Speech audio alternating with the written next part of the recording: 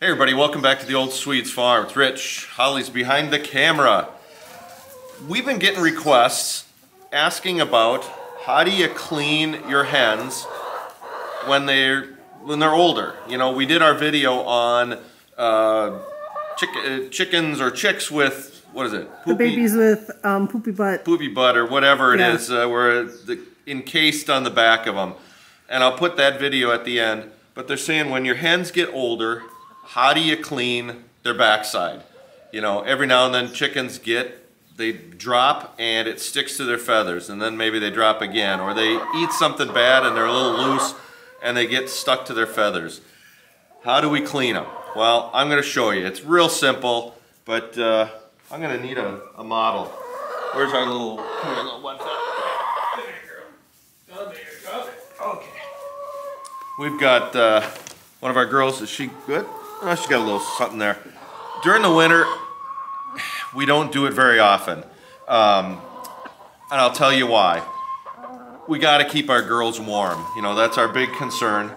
So I'm not going to actually do it, but I'm going to show you what we do. We get out our big, I don't know what, just a tub that we've got, and we'll put water that's about deep enough for their vent. I get out my big pink gloves. When the girls see me with these beautiful pink gloves, they know something's up. And then we go catch the girl. But we put warm water in here. Uh, usually this is a summer thing. We put warm water in and we put some Epsom salt in there. Something just to help them soak. And then we find our little volunteer. Come here, girl. Miss Dirty Butt. And we put them in the, in the water. Make sure that their vent is down in the water. And then all we do, since I've got the gloves on, I'm actually cleaning. There we go. Sorry, girl. I'm cleaning their vent once it gets wet uh, and try to get that stuff loosened up and get it off the bird. And sometimes this is better with two people. Oh, absolutely. There's sometimes where we've got this on the ground. Um, Holly is kneeling on one side, holding the chicken. They don't like being submerged in water. And then I am cleaning the vent with the glove on. I would say don't use your bare hands. You're going to get a bunch of their poop and stuff under your nails, on your hands. It- It can be gross. There's sometimes where it gets on there and it's on there for a while. Um, and so it takes a while to get it off.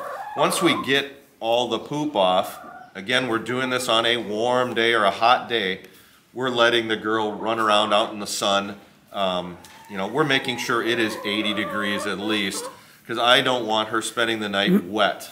Um, and they'll shake off, they'll preen, they'll, uh, and they'll be fine by, by nightfall. We've only done this once in the winter and we actually grabbed the girl and brought her down into the basement uh, and did this. She had some stuff caked on her, and I just didn't want it. It wasn't going to be healthy, and it was going to get on the eggs if she sat on the nest. So we did it in the basement where it was warm, and then we were talking about it earlier. I think I used a hair dryer to kind of dry her off a little bit and keep her really warm. We made sure she was really warm and brought her outside then. I think we had a towel too to help dry her off. Something, yeah. It's been a couple of years. I, I don't remember all of it.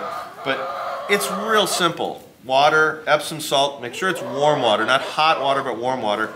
Some good rubber gloves, and just a nice tub. This is the only thing we use this for. We don't put vegetables or anything in here.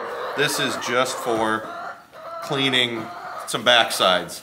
Um, I know there's another container, or people have taken like uh, Rubbermaid totes. Rubbermaid tub and then they put a hole in the top so that the head sticks out and they can soak in the water. I haven't done that. This was just something we had around. We do have to hold her. Uh, you have to kind of manually do this anyways to clean her vent. Um, and I'll, I'll tell you why. Why do we do this? We need our girls to be clean so they're not getting that on the eggs. We need to make sure there's not uh, poop stuck to their feathers and that attracts flies. Then you've got a fly strike. Then you've got a potentially dying chicken. Um, so it goes as part of our entire kind of health of our chicken. Um, if we start seeing poop, now we've got our eight girls now. I can say there's one that's got a little bit on her feather, back feather. Otherwise, they're in perfect condition for now. So uh, if you've got other questions about this or other processes, let us know.